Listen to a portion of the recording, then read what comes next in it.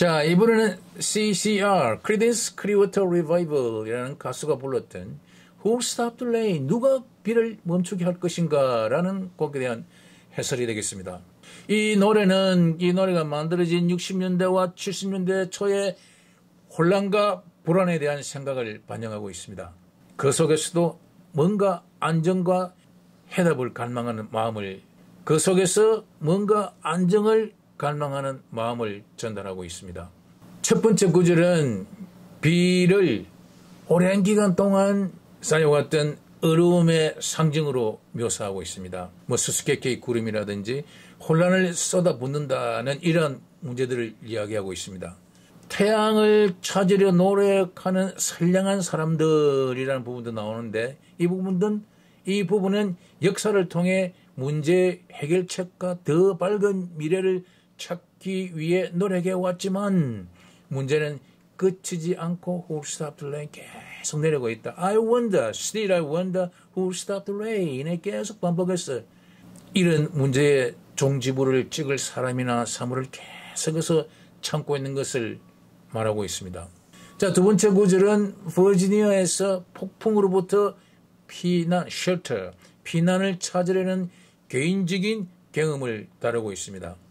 이야기에 휘말리다라는 표현은 큰 약속과 이상의 휩싸였음을 시사하고 있습니다. 5개년 계획이라든지 신규 계약과 같은 정부 정책에 대한 언급은 사회와 경제 문제를 해결하려는 시도였음을 나타내고 있습니다.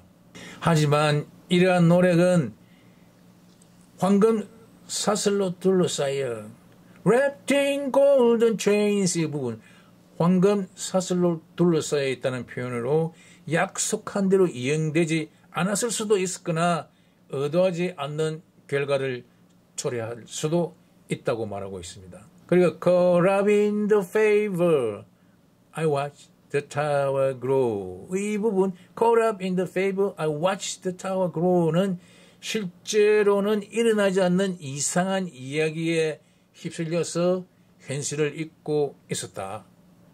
그리고 그 과정에서 탑이 자라나는 모습을 지켜보았다는 것을 말하고 있습니다. 이것은 이 주인공이 현실을 떠나서 상상 속에 빠져들어서 현실적인 문제를 무시하고 있다는 상황을 나타내고 있습니다. 그래서 Who stopped the rain? Who stopped the rain? 이라는 질문은 계속해서 이런 해결책을 바라는 영혼을 담고 있습니다. 마지막 구절은 음악을 듣고 서로의 안락함과 온기를 찾기 위해서 사람들이 모이는 장면을 묘사하고 있습니다. 축제적인 분위기임에도 불구하고 비는 계속 내려서 기분을 저해합니다.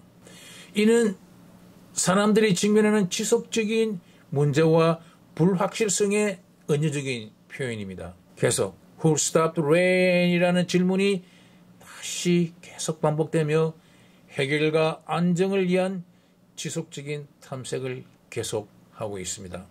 전반적으로 이 노래 Who Stopped the Rain은 그 시기에 혼란과 불안에 대한 좌절감과 혼돈을 담고 있습니다.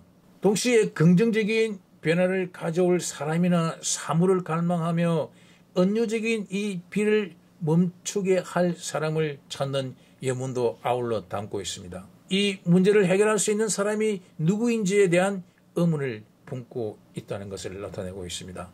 조금 난해한 곡이었습니다. 감사합니다.